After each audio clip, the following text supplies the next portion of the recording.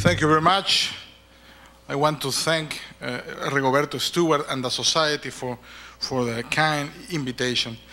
I have uh, uh, very deep uh, links with the Society. I'm the Peruvian representative of the Society. And a few years ago, I met uh, some of the founders, and I have very good uh, um, feels about the work and the action that the Society is carrying out since that time. Uh, first of all, it is necessary to remark uh, terminological terms, um, precision. Uh, we are talking about, of course, informal economy as underground economy, as the, our host uh, explained a few minutes ago. Informal economy or underground economy or hidden economy or submarine economy has a lot of different uh, names, is in fact a very complex uh, social and economic phenomenon. Uh, since the point of view of a, a, a, simple definition, underground economy or informal economy that uh, usually uh, is named in Latin America is mostly the kind of activities carried out outside the law in some sense, we can difference between those activities, informal or underground, from uh, crimes. Informals are not uh, criminals, and informal activities or underground activities are not crimes. Are, uh, in some sense, activities with legitimacy, but out but carrying out outside the law as a result of a law that imposes so costly system that it is impossible to live with. So it is, uh, I think it is correct if we define uh, informality or underground economy or underground activities as those activities with legal goals but illegal means. Those activities that in fact are not stealing nothing from nobody. Those activities as, for instance, street sellers in the streets of Latin America, buying and selling goods, offering services, but for different reasons, maybe barriers to the access to the market or so costly taxes, are carrying out outside the law and without complying with the requirements of a normal legality. So if we accept that de definition, we can understand a little bit about our story. Informal activities, underground markets, black markets, hidden economy, submarine economy, if you, can, if, you wish, are very characteristic in uh, third world economies, especially in Latin America, Africa, and Asia. Those activities are public, are uh, carried out in public without any kind of uh, intrusion for the state, in a sort of uh, symbiosis, or in a, in a, sort of, of, uh, of, um, of uh, living in a peace with activities carried out in a very uh, formal and characteristic way. In Peru, my country, and in Latin America, underground economy has a very important dimension, not only from economic point of view, but also from the sociological point of view. In fact, if we take a few of the most important fields of our life in Peru or Latin America in general is the same thing, we can find that underground economies that not are underground, of course, are over the ground are, totally uh, public, and uh, there's not nothing hidden about that.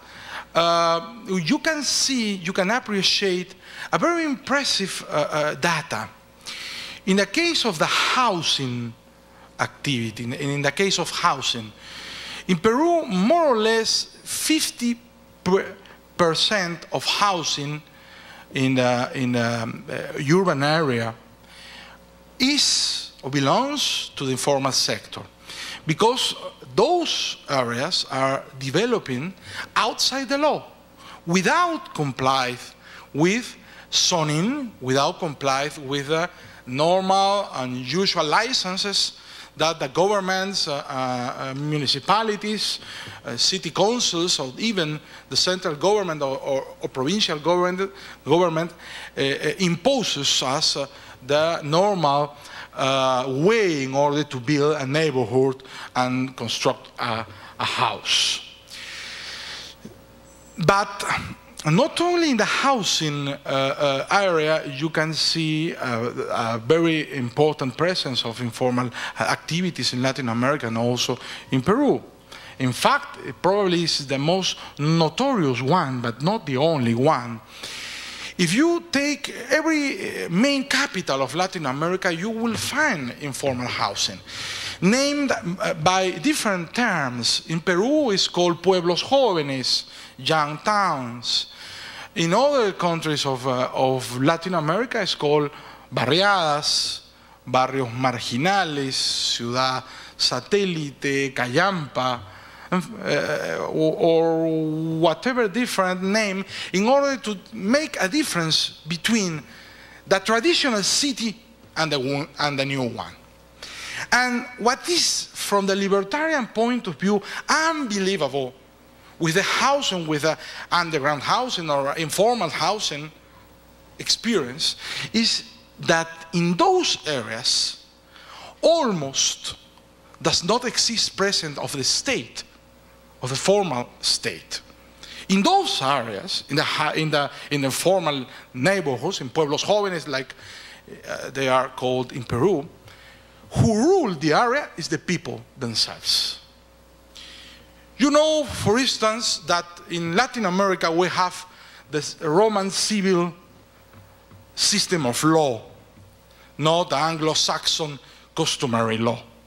Well, what is very impressive is that in that areas, for instance, normal judges, the professional ones, that uh, deals with the suits in the, in the formal society does not exist. They do not have practical jurisdiction. Of course, they have theoretical one, but they don't have practical jurisdiction over those areas.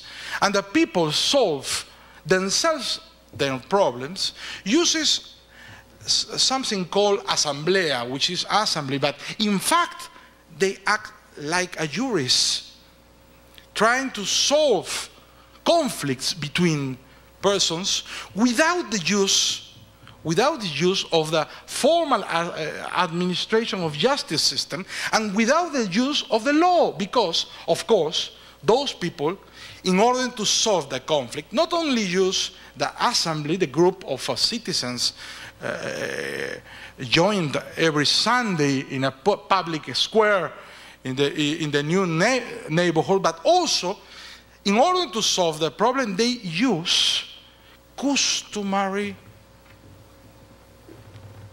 antecedents. They use customary uh, uh, precedents, not the civil code, not the Peruvian civil code. So it is very, very important from the social point of view and from our um, theory of, uh, of uh, the origin of the institutions in a libertarian perspective, appreciate that uh, live laboratory in the cities of Latin America in order to see how it is possible that the pure interaction of the people outside the law and almost against the law can generate an alternative framework, and an alternative institutional framework in order to compete against the state and through the competition of the of, or through the competition against the state could create an alternative of evolution and could create also, of course, we hope, an alternative for the new liberty. Also, in the commerce field, uh, we have a very important experience of informal activity or underground economy, black and markets, or whatever you want to call that.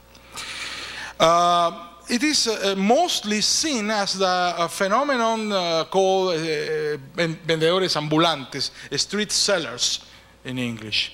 People that uh, uh sells goods and uh, offer services in the streets. Almost every city in Latin America and of course in all the countries of third world uh, has a very important uh, um, group of people working outside the law in the streets.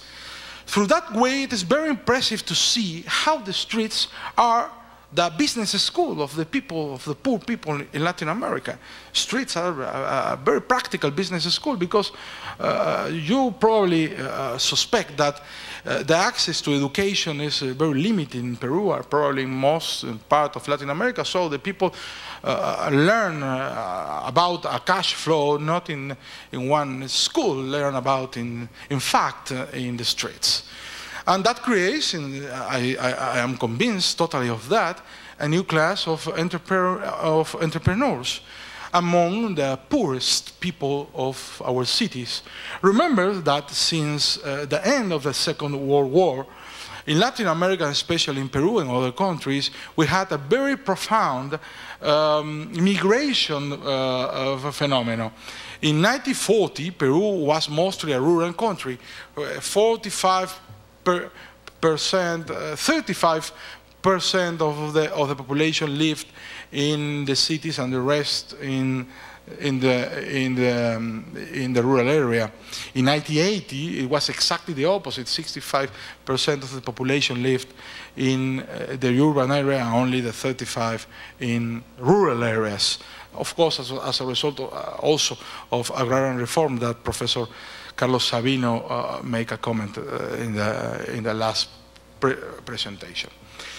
So in the commerce also exists a very important presence of, of, uh, of, informal activities. Those guys, the street sellers, don't pay taxes, of course, and don't comply with the regulation because it is impossible to pay so high taxes and comply with the different li licenses that uh, Peruvian state impose on them. It's the same case with uh, little industries, handicraft, and different uh, artisans that are working outside the, the law.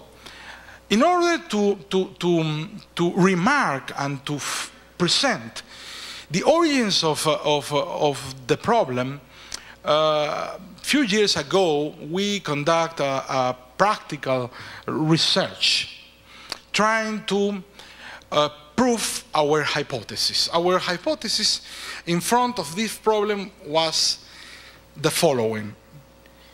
If underground economy is important in housing, is important in, in commerce, is important in industry, is important in every part of relevance of our society, the question is how is the most important uh, cause of this?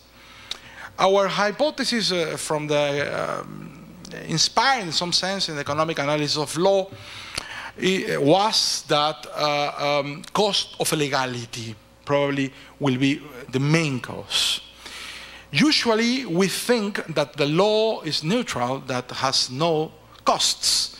That is not true in the works of uh, Ronald Coase, Ronald H. Coase, uh, Nobel Prize winner. We know that uh, law uh, creates costs. We know also, of course, that market has costs, transaction costs. But we also know that law has costs. And uh, usually we think about the transaction, the transaction costs, the cost of use the market, but uh, it is no good remark that also the law has costs. And we try to prove the cost of legality. We try first to find how to, how to measure the cost of legality, and then we try to, to, to, to present some idea about the cost of legality. And for that, we try to, to, to make a empirical research. Our objective, our objective was the following. We try to organize, to incorporate a little uh, enterprise in order to sell and buy things.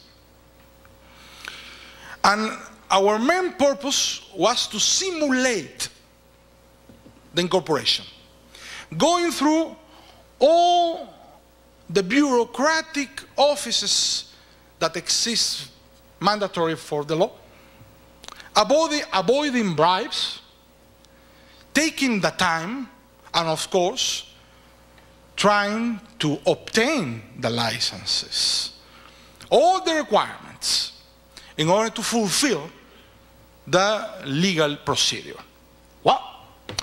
We organized a group of simulators, young students, and we began our exercise. The, at the end, we find the following. First, it was necessary to get 11 licenses.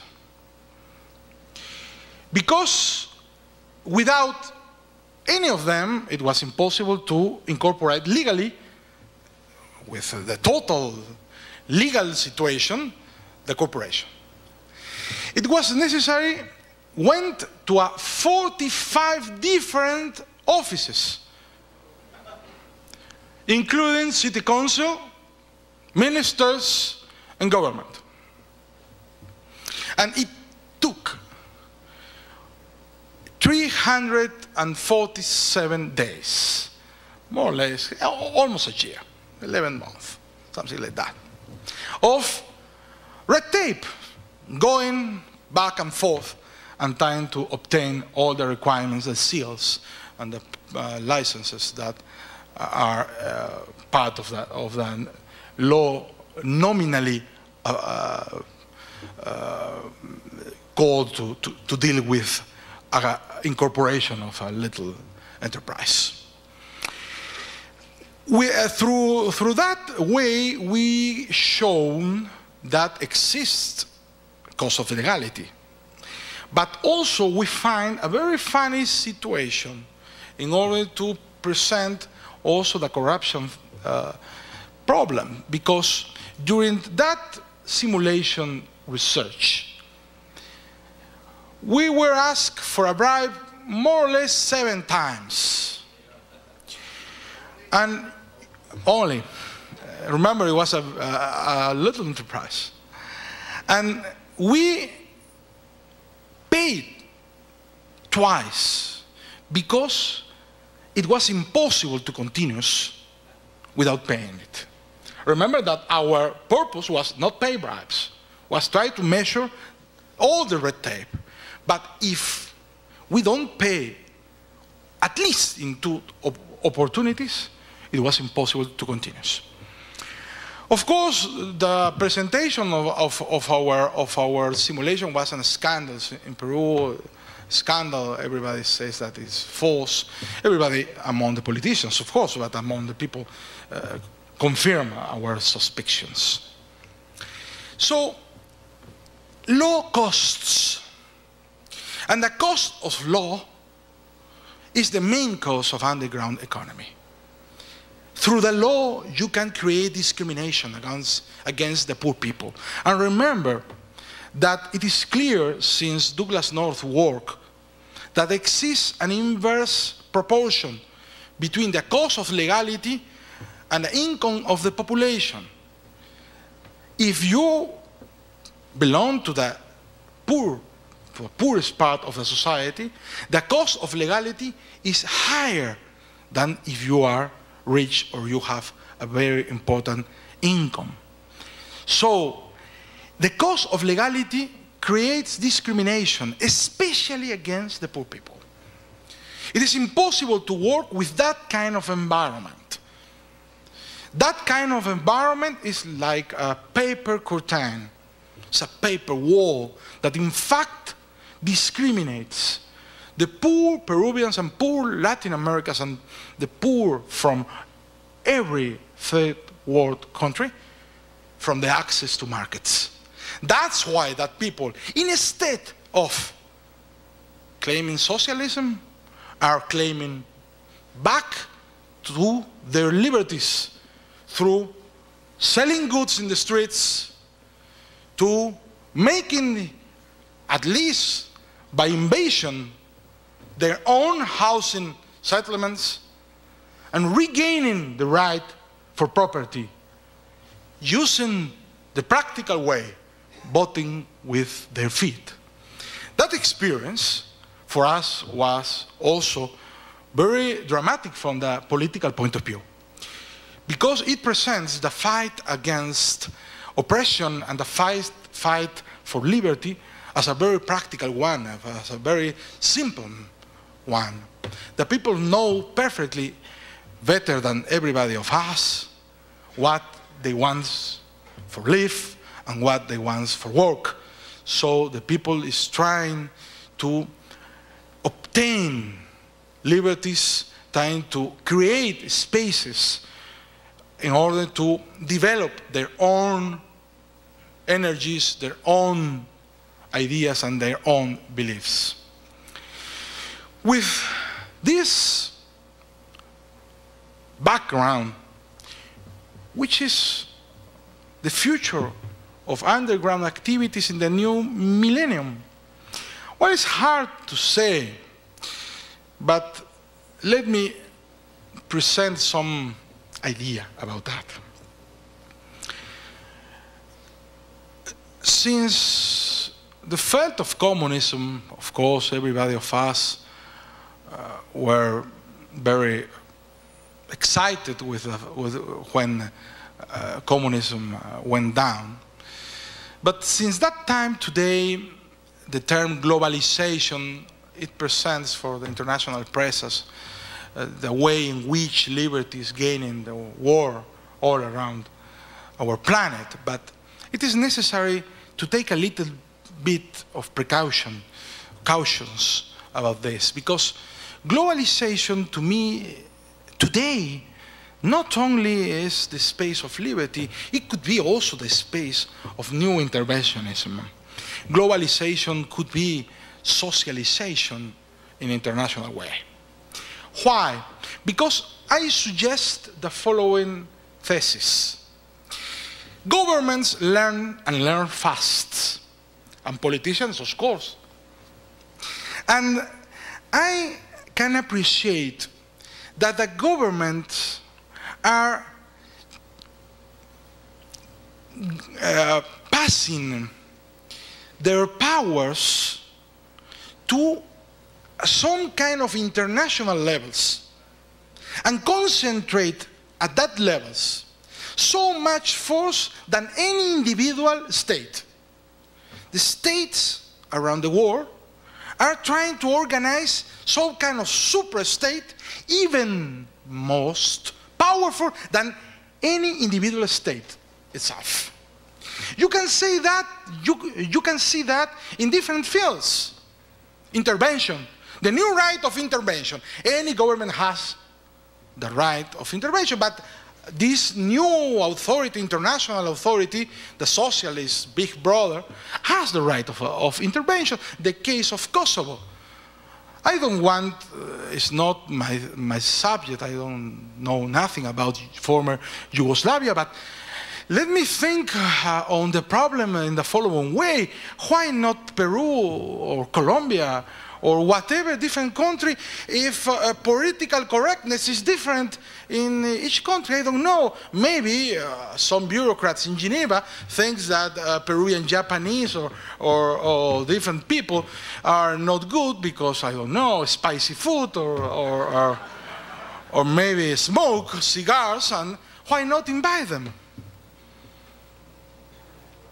Of course, the right of control is also passing from the national state to the supranational state. Discussion about internet. You know, they are trying to restrict the access of internet. It is hard, but it's not impossible. They can control the, the CPU, the units. They can control also the telephone lines. It is possible to introduce through hardware some political limitations in order to supposedly uh, keep uh, some biases outside the net, some uh, danger from the childhood, uh, whatever they want. I see also other dangers. Uh, of course, in Latin America, for us, is, is continuous a, a, menace. The problem of drugs. You know, Peru and Colombia and Bolivia has constantly the menace of, of uh, U.S. government against them because uh, control uh, drugs control, and in fact, the government of the United States uh, think thinks that uh, it has the right in order to, to, to, to evaluate how is the behavior of uh, the different nations about drugs, but why not about cholesterol? If cholesterol can, can kill more people than drugs? Or why not about uh, uh, literature? Why not? There's not any kind of reason in order to not expect that kind of limitation for our liberty. So I have fear. I have fear, of course, rational fear, in order to uh, uh, uh be very critic about globalization, especially because I am seeing how international bu bu bureaucracies are trying to reinforce the power, the, the powers of the state through, national, through international organizations.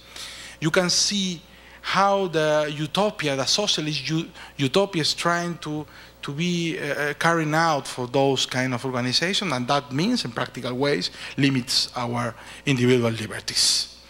So probably in the future, uh, there will be um, not only more informals or underground activities, but also different uh, uh, informal activities. Why not think about uh, uh some uh, um, informals developing an alternative internet if internet is controlled by the state? why not think about also some freedom fighters is the, if uh, that supranational authority try to invade uh, their own lands why don't think about vice resistance. Lysander Spooner says, uh, but uh, vices are not crimes, but of course socialists think that vices are crimes. And uh, the people who has vices also will, will try to resist against those, those uh, new uh, um, bureaucrats or new kind of authorities trying to impose some kind of, of uh, uh, of uh, regulations against them, them. So what could be my final word about this problem is the following. Underground economy, informal activities in Latin America and Peru presents a very complex and enthusiastic phenomenon because uh, uh informals are in some sense people, poor people trying to, to, to, to gain for them the privilege and, and, the, and, the, and the benefits of uh, work freely and use that freedom in order to improve their own lives. But uh, probably, as I am saying, the cost of legality will increase during the globalization times. And I hope, I hope not, but I think that could be a paramount that if cost of legality in international terms go up during the globalization times, probably we could expect more informal activities and more informals all around the world. So probably much of us uh, in that situation could be working outside the law, working outside that international law, trying to regain our rights for ourselves. The principal message of informality is poor people believe in liberty and know the benefits of liberty. They try to reivindicate private property, invading land, public land, in creating, and creating new neighborhoods. They're trying to reivindicate also the right to be entrepreneurs and making at the streets, converting the streets in, the, in a huge mall in which they try to sell different goods. And they are also reivindicating principles, liberty, as the way in order to improve personal life. That message is very powerful for all of us because I suspect that in the new millennium, liberty will have new enemies. Enemies hidden behind some very naive principles, globalization, new yes, justice, but terrible enemies. Think about that world in which international organization could decide if it is possible to invade one country for moral reasons. Think about that world in which judges has not jurisdiction limits. And as today you can uh, present a, a, suit against one tobacco, uh, American tobacco company in United States from part of the, one Latin American country or one La, La, Latin American government. Think about also new and more extended and complex regulations trying to restrict the distribution of knowledge, distribution of ideas, and the distribution of opinions. It could be a terrible world. So I'm very happy that our society exists because I hope that our society could be the best instrument, the best way in order to make part of the resistance against the enemy of liberty and try to save in it from those people. So we are in the think I think we are in the very hard time. The new millennium for the society, the new millennium for libertarians, and and the new millennium for all of us is just the beginning, the beginning of the fight for liberty, the fight for freedom, and a fight for the individual rights, which are the only valuable thing that exists in our society. Thank you very much.